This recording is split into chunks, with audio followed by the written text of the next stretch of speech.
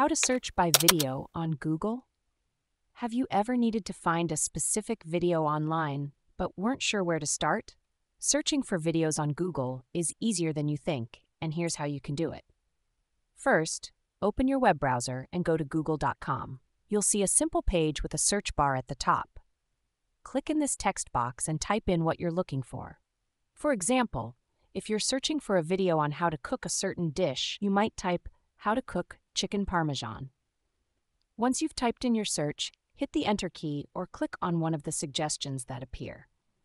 Now you'll see a list of search results, but to narrow it down to videos, click on the Videos tab at the top of the screen. This tab is usually located next to other tabs like All, Images, and Maps.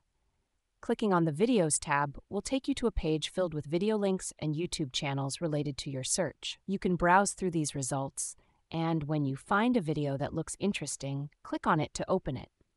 If you want to open the link in a new tab, you can right-click on the colored text and select Open Link in New Tab. If you're looking for videos from a specific source, like YouTube or another video platform, you can use the Tools filter to refine your search. For instance, you can filter results by the time they were posted or by the exact phrase you searched for. Searching for videos on Google is a straightforward process that can help you find exactly what you're looking for quickly and efficiently.